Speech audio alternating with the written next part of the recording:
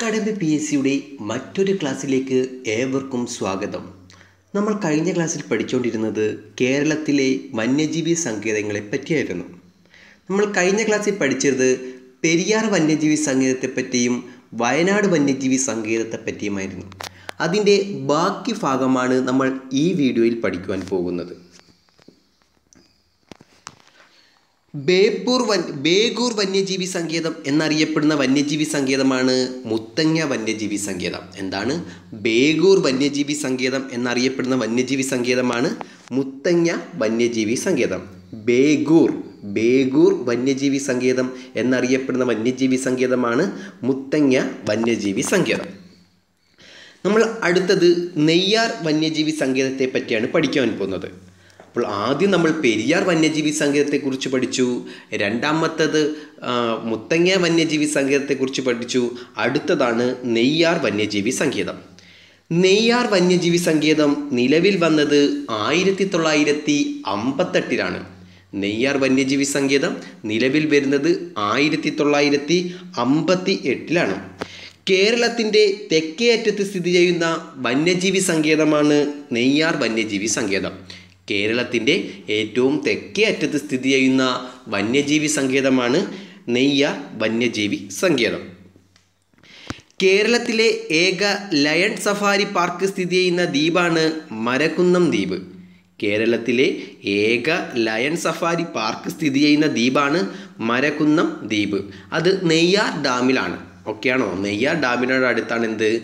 മരകുന്നം ദ്വീപ്. ഒക്കെയാണോ? എന്താണ് കേരളത്തിലെ ഏക ലയൺ സഫാരി പാർക്ക് സ്ഥിതി ചെയ്യുന്നത്? മരകുന്നം ദ്വീപിലാണ്. അത് നെയ്യാർ ഡാമിന്റെ അടുത്താണ്. ഏതു പാർക്കിന്റെ മാതൃകയിലാണ് നെയ്യാർ ലയൺ സഫാരി പാർക്ക് നിർമ്മിച്ചിരിക്കുന്നത്? Nehru zoological park Hyderabad. ഒക്കെയാണോ? എന്താണ്? ഏതു പാർക്കിന്റെ മാതൃകയിലാണ് നെയ്യാർ ലയൺ സഫാരി പാർക്ക് നിർമ്മിച്ചിരിക്കുന്നത്? ഏത് പാർക്കിന്റെയാണ് നെഹ്റു സുവോളജിക്കൽ പാർക്കിന്റെയാണ് എവിടത്തെയാണ്? ഹൈദരാബാദിലെ. ഹൈദരാബാദിലെ നെഹ്റു സുവോളജിക്കൽ പാർക്കിന്റെ മാതൃകയിലാണ് നെയ്യാർ ലയൺ സഫാരി പാർക്ക് നിർമ്മിച്ചിരിക്കുന്നത്. ഓക്കെയാണോ എന്താണ്? ഏതു പാർക്കിന്റെ മാതൃകയിലാണ് നെയ്യാർ ലയൺ സഫാരി പാർക്ക് നിർമ്മിച്ചിരിക്കുന്നത്? ഏത് പാർക്കിന്റെയാണ് നെഹ്റു സുവോളജിക്കൽ പാർക്ക് ഹൈദരാബാദ്. ഹൈദരാബാദിലെ നെഹ്റു സുവോളജിക്കൽ പാർക്കിന്റെ മാതൃകയിലാണ് നെയ്യാർ ലയൺ സഫാരി പാർക്ക് നിർമ്മിച്ചിരിക്കുന്നത്. ഇത്രയൊക്കെയാണോ? അതുപോലെ തന്നെ Agasthyar കൊടൈക്ക crocodile rehabilitation and research centre സ്ഥിതി ചെയ്യുന്ന വന്യജീവി സങ്കേതമാണ് നെയ്യാർ വന്യജീവി സങ്കേതം. എന്താണ്? അഗസ്ത്യാർ ക്രൊക്കഡൈൽ റീഹി റീബിലിറ്റേഷൻ ആൻഡ് റിസർവ് സെന്റർ സ്ഥിതി ചെയ്യുന്ന വന്യജീവി സങ്കേതമാണ് നെയ്യാർ വന്യജീവി സങ്കേതം. എന്താണ്? Agasthyar crocodile rehabilitation and research centre സ്ഥിതി ചെയ്യുന്ന വന്യജീവി സങ്കേതമാണ് നെയ്യാർ വന്യജീവി സങ്കേതം. ഓക്കെയാണോ? അപ്പോൾ എന്തൊക്കെയാണ് നെയ്യാർ വന്യജീവി സങ്കേതത്തെക്കുറിച്ച് പഠിച്ചത് നമ്മൾ? ആയിരത്തി തൊള്ളായിരത്തി അമ്പത്തി എട്ടിലാണ് നെയ്യാർ വന്യജീവി സങ്കേതം രൂപീകരിച്ചത്. നെയ്യ കേരളത്തിന്റെ ഏറ്റവും തെക്കേ അറ്റത്ത് സ്ഥിതി ചെയ്യുന്ന വന്യജീവി സങ്കേതമാണ് നെയ്യാർ വന്യജീവി സങ്കേതം. കേരളത്തിലെ ഏക ലയൺ സഫാരി പാർക്ക് സ്ഥിതി ചെയ്യുന്നത് എവിടെയാണ്? മരകുന്നം ദ്വീപിലാണ്. എവിടെയാണ്? മരകുന്നം ദ്വീപിലാണ്. നെയ്യാർ ഡാമിലെ മരകുന്നം ദ്വീപിലാണ്. അടുത്ത പഠിച്ച് നമ്മൾ എന്തായിരുന്നു ഏത് പാർക്കിന്റെ മാതൃകയിലാണ് നെയ്യാർ ലയൺ സഫാരി പാർക്ക് നിർമ്മിച്ചിരിക്കുന്നത്? ഏത് പാർക്കിന്റെയാണ് നെഹ്റു സുവോളജിക്കൽ പാർക്കിന്റെ ഏതാണ്? നെഹ്റു സുവോളജിക്കൽ പാർക്കിന്റെയാണ് ഇന്ത്യയിലെ ആദ്യത്തെ കമ്മ്യൂണിറ്റി റിസർവ് റിസർച്ച് റിസർവ് ഏതാണ്? കടലുണ്ടി വള്ളിക്കു വള്ളിക്കുന്നം കമ്മ്യൂണിറ്റി റിസർവ് ആണ് ഏതാണ്? ഇന്ത്യയിലെ ആദ്യത്തെ കമ്മ്യൂണിറ്റി റിസർവ് ഏതാണ്? കടലുണ്ടി വള്ളിക്കുന്നമാണ്. ഏതാണ്? കടലുണ്ടി വള്ളിക്കുന്നമാണ്. രണ്ടായിരത്തി ഏഴിലാണ് ആണോ ഇന്ത്യയിലെ ആദ്യത്തെ കമ്മ്യൂണിറ്റി റിസർവ് ഏതാണ്? കടലുണ്ടി വള്ളിക്കുന്നമാണ്. ഏതാണ്? കടലുണ്ടി വള്ളിക്കുന്നമാണ്. അടുത്ത വന്യജീവി സങ്കേതമാണ് ശെന്തൂരിണി വന്യജീവി സങ്കേതം. അപ്പോൾ നമ്മൾ അടുത്തതായിട്ട് പഠിക്കാൻ പോകുന്ന വന്യജീവി സങ്കേതമാണ് ശെന്തുരുണി വന്യജീവി സങ്കേതം. ശെന്തുരുണി വന്യ വന്യജീവി സങ്കേതം രൂപീകരിച്ചത് ആയിരത്തി തൊള്ളായിരത്തി എൺപത്തിനാലിലാണ്. ശെന്തുരുണി വന്യജീവി സങ്കേതം രൂപീകരിച്ചത് എന്നാണ് ആയിരത്തി തൊള്ളായിരത്തി എൺപത്തിനാലിലാണ്. ഒരു വൃക്ഷത്തിന്റെ പേരിൽ അറിയപ്പെടുന്ന കേരളത്തിലെ ഏക വന്യജീവി സങ്കേതമാണ് ശെന്തുരുണി വന്യജീവി സങ്കേതം. എന്താണ്? ഒരു വൃക്ഷത്തിന്റെ പേരിൽ അറിയപ്പെടുന്ന കേരളത്തിലെ ഏക വന്യജീവി സങ്കേതമാണ് ശെന്തുരുണി വന്യജീവി സങ്കേതം. ഓക്കെയാണോ എന്താണ്? ഒരു വൃക്ഷത്തിന്റെ പേരിൽ അറിയപ്പെടുന്ന കേരളത്തിലെ ഏക വന്യജീവി സങ്കേതമാണ് ശെന്തുരുണി വന്യജീവി സങ്കേതം. ശെന്തുരുണി വന്യജീവി സങ്കേതം ഏത് ജില്ലയിലാണ്? കൊല്ലം ജില്ലയിലാണ്. ശെന്തുരുണി വന്യജീവി സങ്കേതം ഏതു ജില്ലയിലാണ്? കൊല്ലം ജില്ലയിലാണ്. ഓക്കെയാണോ എന്താണ്? ചെന്തുരുണി വന്യജീവി സങ്കേതം ഏതു ജില്ലയിലാണ്?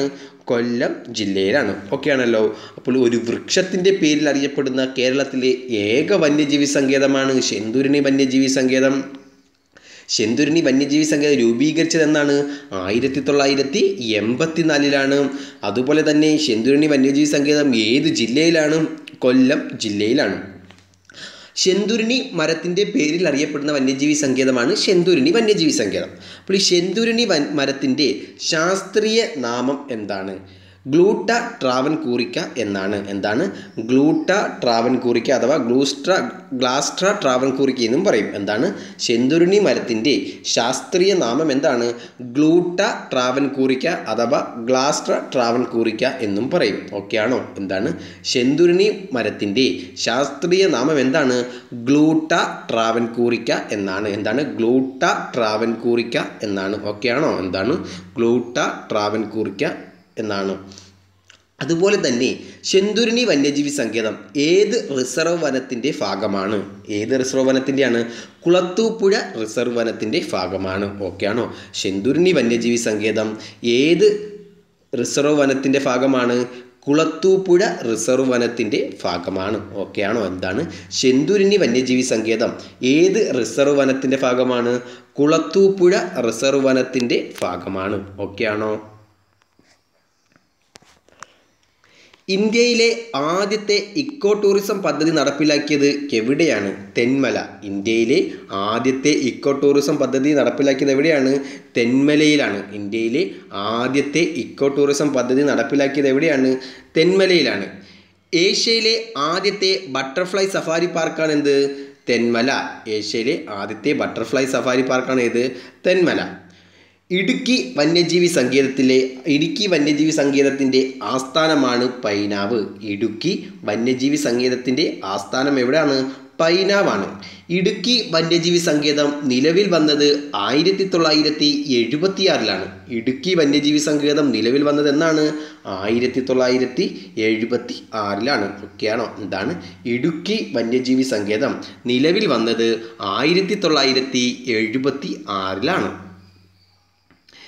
ഇടുക്കി ജില്ലയിലെ തൊടുപുഴ ഉടുമ്പൻചോല താലൂക്കുകളിൽ സ്ഥിതി ചെയ്യുന്ന വന്യജീവി സങ്കേതമാണ് ഇടുക്കി വന്യജീവി സങ്കേതം. എന്താണ്? ഇടുക്കി ജില്ലയിലെ തൊടുപുഴ ഉടുമ്പൻചോല താലൂക്കുകളിൽ സ്ഥിതി ചെയ്യുന്ന വന്യജീവി സങ്കേതമാണ് ഇടുക്കി വന്യജീവി സങ്കേതം. ഓക്കെയാണോ? എന്താണ്? ഇടുക്കി ജില്ലയിലെ തൊടുപുഴ ഉടുമ്പൻചോല താലൂക്കുകളിലെ സ്ഥിതി ചെയ്യുന്ന വന്യജീവി സങ്കേതമാണ് ഇടുക്കി വന്യജീവി സങ്കേതം. ഓക്കെയാണല്ലോ. അഗസ്ത്യമല ബയോസ്ഫിയർ റിസർവ് ഭാഗമായിട്ടുള്ള വന്യജീവി സങ്കേതങ്ങൾ ഏതൊക്കെയാണ്? എന്താണ്? അഗസ്ത്യമല ബയോസ്ഫിയർ റിസർവിന്റെ ഭാഗമായിട്ടുള്ള വന്യജീവി സങ്കേതങ്ങൾ ഏതൊക്കെയാണ്? ഏതൊക്കെയാണ്? നെയ്യാർ വന്യജീവി സങ്കേതം പെപ്പാറ വന്യജീവി സങ്കേതം ശെന്തുരുണി വന്യജീവി സങ്കേതം ഏതൊക്കെയാണ്? നെയ്യാർ വന്യജീവി സങ്കേതം പെപ്പാറ വന്യജീവി സങ്കേതം ശെന്തുരുണി വന്യജീവി സങ്കേതം. ഓക്കെയാണല്ലോ? തിരുവനന്തപുരം ജില്ലയിലെ നെടുമങ്ങാട് താലൂക്കിൽ സ്ഥിതി ചെയ്യുന്ന വന്യജീവി സങ്കേതമാണ് പെപ്പാറ വന്യജീവി സങ്കേതം. എന്താണ്? തിരുവനന്തപുരം ജില്ലയിലെ നെടുമങ്ങാട് താലൂക്കിൽ സ്ഥിതി ചെയ്യുന്ന വന്യജീവി സങ്കേതമാണ് പേപ്പാറ വന്യജീവി സങ്കേതം. എന്താണ്? തിരുവനന്തപുരം ജില്ലയിലെ നെടുമങ്ങാട് താലൂക്കിൽ സ്ഥിതി ചെയ്യുന്ന വന്യജീവി സങ്കേതമാണ് പേപ്പാറ വന്യജീവി സങ്കേതം.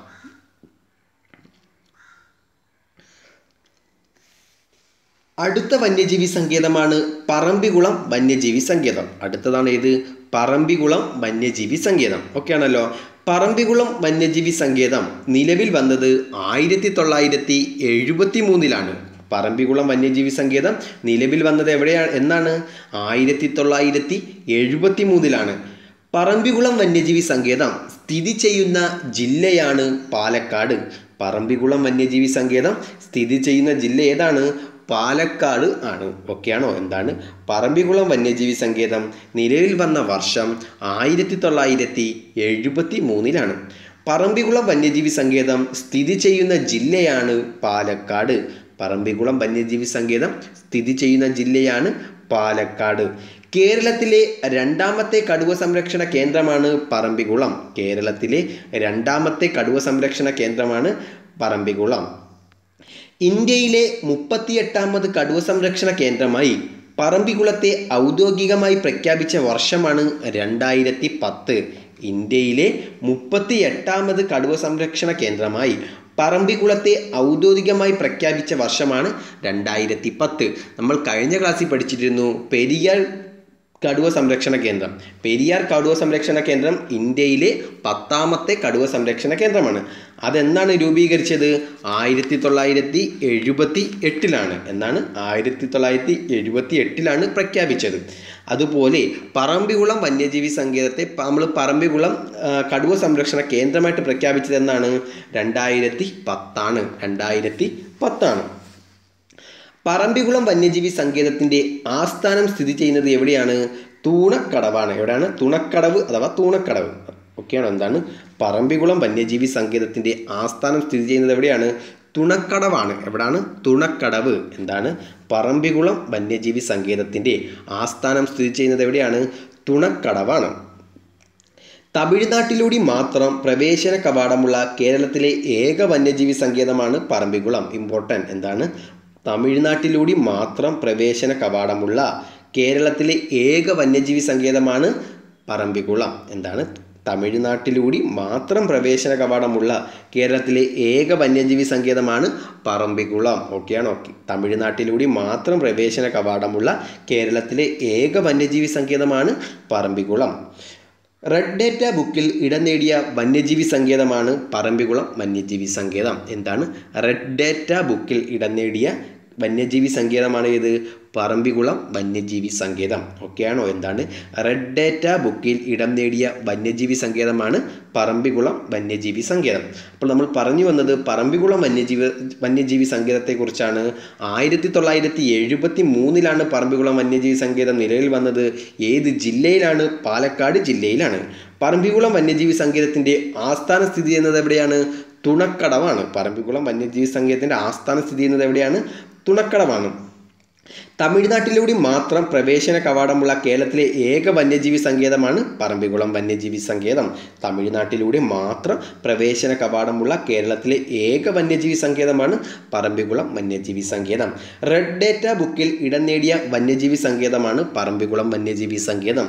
റെഡ് ഡേറ്റ ബുക്കിൽ ഇടം നേടിയ വന്യജീവി സങ്കേതമാണ് പറമ്പിക്കുളം വന്യജീവി സങ്കേതം. അതുപോലെ തന്നെ ഇന്ത്യയിലെ മുപ്പത്തി എട്ടാമത് കടുവ സംരക്ഷണ കേന്ദ്രമായി പറമ്പിക്കുളത്തെ ഔദ്യോഗികമായി പ്രഖ്യാപിച്ച വർഷം ഏതാണ്? രണ്ടായിരത്തി പത്താണ് എന്നാണ്. രണ്ടായിരത്തി പത്താണ്.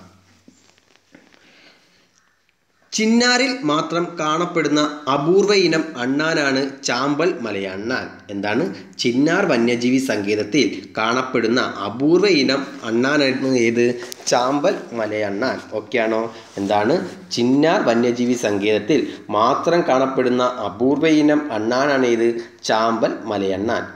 ചിമ്മിനി വന്യജീവി സങ്കേതം സ്ഥിതി ചെയ്യുന്നത് മുകുന്നപുരത്താണ് ചിമ്മിനി വന്യജീവി സങ്കേതം സ്ഥിതി ചെയ്യുന്നത് എവിടെയാണ്? മുകുന്നപുരമാണ് ഓക്കെയാണോ എന്താണ്?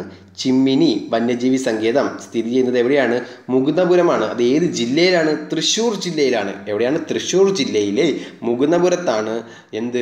ചിമ്മിനി വന്യജീവി സങ്കേതം സ്ഥിതി ചെയ്യുന്നത്. ചിങ് ചിമ്മിനി വന്യജീവി സങ്കേതം നിലവിൽ വന്നത് ആയിരത്തി തൊള്ളായിരത്തി എൺപത്തി നാലിലാണ് ചിമ്മിനി വന്യജീവി സങ്കേതം നിലവിൽ വന്നത് എന്നാണ്? ആയിരത്തി തൊള്ളായിരത്തി എൺപത്തി നാലിലാണ് റീഡ് തവളകൾ കാണപ്പെടുന്ന കേരളത്തിലെ പ്രദേശമാണ് കക്കയം. റീഡ് തവളകൾ കാണപ്പെടുന്ന കേരളത്തിലെ പ്രദേശം ഏതാണ്? കക്കയമാണ്. മലബാർ വന്യജീവി സങ്കേതമാണ്. എന്താണ്? റെയ്ഡ് തവളകൾ. കാണപ്പെടുന്ന കേരളത്തിലെ പ്രദേശം ഏതാണ്? കക്കയം. ഏതാണ്? കക്കയം. കേരളത്തിലെ പതിനേഴാമത് വന്യജീവി സങ്കേതമാണ് കൊട്ടിയൂർ വന്യജീവി സങ്കേതം. കേരളത്തിലെ പതിനേഴാമത്തെ വന്യജീവി സങ്കേതമാണ് ഏത്? കൊട്ടിയൂർ വന്യജീവി സങ്കേതം. കേരളത്തിലെ പതിനേഴാമത്തെ വന്യജീവി സങ്കേതമാണ് കൊട്ടിയൂർ വന്യജീവി സങ്കേതം. അത് രണ്ടായിരത്തി പതിനൊന്നിലാണ് നിലവിൽ വന്നത്. കൊട്ടിയൂർ വന്യജീ വന്യജീവി സങ്കേതം നിലവിൽ വന്നത് എവിടെയാണ്? രണ്ടായിരത്തി പതിനൊന്നിലാണ് ഏത് ജില്ലയിലാണ്? കണ്ണൂർ ജില്ലയിലാണ്. ഏത് ജില്ലയിലാണ്? കണ്ണൂർ ജില്ലയിലാണ്. കേരളത്തിന്റെ ഭാഗമായിട്ടുള്ള പശ്ചിമഘട്ടത്തിലെ മഴനിഴൽ പ്രദേശമാണ് ചിന്നാർ. എന്താണ്? കേരളത്തിന്റെ ഭാഗമായിട്ടുള്ള പശ്ചിമഘട്ടത്തിലെ മഴനിഴൽ പ്രദേശമാണ് ചിന്നാർ. ഈ ചിന്നാർ വന്യജീവി സങ്കേതത്തിന് വെള്ള കാത്തുപോത്തുകളുടെ സാന്നിധ്യം റിപ്പോർട്ട് ചെയ്ത ചെയ്യപ്പെട്ടിട്ടുണ്ട്. എന്താണ്? ചിന്നാർ വന്യജീവി സങ്കേതത്തിൽ വെള്ള കാട്ടുപോത്തുകളുടെ സാന്നിധ്യം റിപ്പോർട്ട് ചെയ്തപ്പെട്ടിട്ടുണ്ട്. ഓക്കെയാണോ എന്താണ്? ചിന്നാർ വന്യജീവി സങ്കേതത്തിൽ വെള്ള കാട്ടുപോത്തുകളുടെ സാന്നിധ്യം റിപ്പോർട്ട് ചെയ്യപ്പെട്ടിട്ടുണ്ട്. ചാമ്പൽ മലയണ്ണാൻ നക്ഷത്ര ആമ എന്നിവ കാണപ്പെടുന്ന വന്യജീവി സങ്കേതമാണ് ചിന്നാർ വന്യജീവി സങ്കേതം. എന്താണ്? ചാമ്പൽ മലയണ്ണാൻ നക്ഷത്ര ആമ എന്നിവ കാണപ്പെടുന്ന വന്യജീവി സങ്കേതമാണ് ചിന്നാർ വന്യജീവി സങ്കേതം. ഓക്കെയാണോ? എന്താണ്? ചാമ്പൽ മലയണ്ണാൻ നക്ഷത്ര ആമ എന്നിവ കാണപ്പെടുന്ന വന്യജീവി സങ്കേതമാണ് ചിന്നാർ വന്യജീവി സങ്കേതം. ചിന്നാർ വന്യജീവി സങ്കേതം ഇടുക്കി ജില്ലയിലാണ്. ചിന്നാർ വന്യജീവി സങ്കേതം സ്ഥിതി ചെയ്യുന്നത് ഏത് ജില്ലയിലാണ്? ഇടുക്കി ജില്ലയിലാണ്. ആയിരത്തി തൊള്ളായിരത്തി എൺപത്തി നാലിലാണ് നിലവിൽ വന്നത്. ആയിരത്തി തൊള്ളായിരത്തി എൺപത്തി നാലിലാണ് നിലവിൽ വന്നത്. ഓക്കെ ആണല്ലോ. ചിന്നാർ വന്യജീവി സങ്കേതത്തിലൂടെ ഒഴുകുന്ന നദിയാണ് പാമ്പാർ. ചിന്നാർ വന്യജീവി സങ്കേതത്തിലൂടെ ഒഴുകുന്ന നദിയാണ് ഏത് പാമ്പാർ ചിന്നാർ വന്യജീവി സങ്കേതത്തിലൂടെ ഒഴുകുന്ന നദിയാണ് പാമ്പാർ. കേരളത്തിന്റെ വടക്കേ അറ്റത്ത് സ്ഥിതി ചെയ്യുന്ന വന്യജീവി സങ്കേതമാണ് ആറളം വന്യജീവി സങ്കേതം. കേരളത്തിന്റെ വടക്കേ അറ്റത്ത് സ്ഥിതി ചെയ്യുന്ന വന്യജീവി സങ്കേതമാണ് ആറളം വന്യജീവി സങ്കേതം. എന്താണ്? കേരളത്തിന്റെ വടക്കേ അറ്റത്ത് സ്ഥിതി ചെയ്യുന്ന വന്യജീവി സങ്കേതമാണ് ആറളം വന്യജീവി സങ്കേതം. ആറളം വന്യജീവി സങ്കേതം സ്ഥിതി ചെയ്യുന്നത് കണ്ണൂർ ജില്ലയിലാണ്. ആറളം വന്യജീവി സങ്കേതം സ്ഥിതി ചെയ്യുന്നത് ഏത് ജില്ലയിലാണ്? കണ്ണൂർ ജില്ലയിലാണ്. എന്നാണ് ആറളം വന്യജീവി സങ്കേതം നിലയിൽ വന്നത്? ആയിരത്തി തൊള്ളായിരത്തി എൺപത്തിനാലിലാണ്. എന്നാണ് ആയിരത്തി തൊള്ളായിരത്തി എൺപത്തി നാലിലാണ് ഓക്കെ ആണല്ലോ. വളരെ ഇമ്പോർട്ടന്റ് ആയിട്ടുള്ള ഒരു പോയിന്റാണ് ഏറ്റവും ഒടുവിലായി കേരളത്തിൽ നിലവിൽ വന്ന വന്യജീവി സങ്കേതം ഏതാണ്? ഏറ്റവും ഒടുവിലായിട്ട് കേരളത്തിൽ നിലവിൽ വന്ന വന്യജീവി സങ്കേതം ഏതാണ്? ഏതാണ്? കരിമ്പുഴയാണ്. ഏതാണ്? കരിമ്പുഴയാണ്. മലപ്പുറം ജില്ലയിലാണ്. ഓക്കെയാണോ? അപ്പോൾ കരിമ്പുഴ നിലവിൽ വന്നത് രണ്ടായിരത്തി പത്തൊമ്പതിലാണ് കരിമ്പുഴ നിലവിൽ വന്നത് രണ്ടായിരത്തി പത്തൊമ്പതിലാണ് ഏത് ജില്ലയിലാണ്? മലപ്പുറം ജില്ലയിലാണ്. ഏത് ജില്ലയിലാണ്? മലപ്പുറം ജില്ലയിലാണ്. കേരളത്തിലെ പതിനെട്ടാമത്തെ വന്യജീവി സങ്കേതമാണ് ഏത്? കരിമ്പുഴ. ഏതാണ്?